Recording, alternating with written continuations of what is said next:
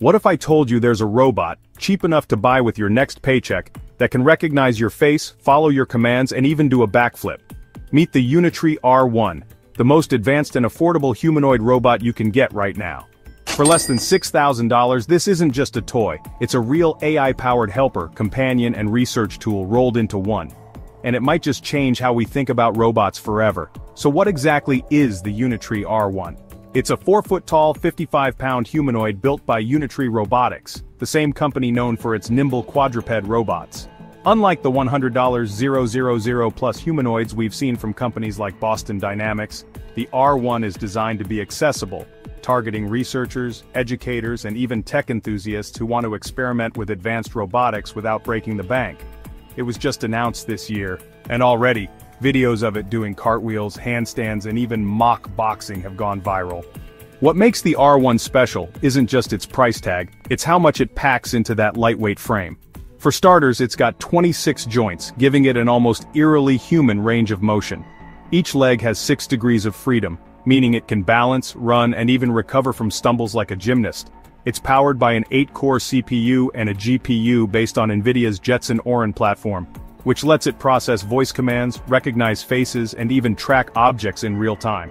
And unlike some robots that feel like pre-programmed puppets, the R1 uses a large multimodal AI model so it can understand and respond to natural interactions, like a very simple, very physical version of ChatGPT. Now you might be wondering, what would I even do with a robot like this? Well, think about education. Imagine a high school robotics club where students can program a humanoid to navigate an obstacle course or respond to voice commands, no million-dollar lab required. Or picture a small tech startup prototyping a new AI assistant that doesn't just talk, but can physically gesture and move around a room. The R1 isn't built to fold your laundry or cook dinner, it doesn't even have functional hands. But as a platform for learning and innovation, it's a game changer. Why does this matter? Because until now humanoid robots have been either absurdly expensive or painfully limited. Tesla's Optimus is still in development and rivals like UBTech's Walker X cost over $40,000.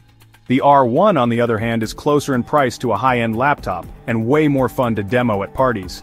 Unitree also made it open source, meaning developers can tweak its software, add new skills, or even teach it to dance. It's not perfect, the battery lasts only about an hour, and it's not designed for heavy lifting, but as a proof of concept, it's a huge leap forward.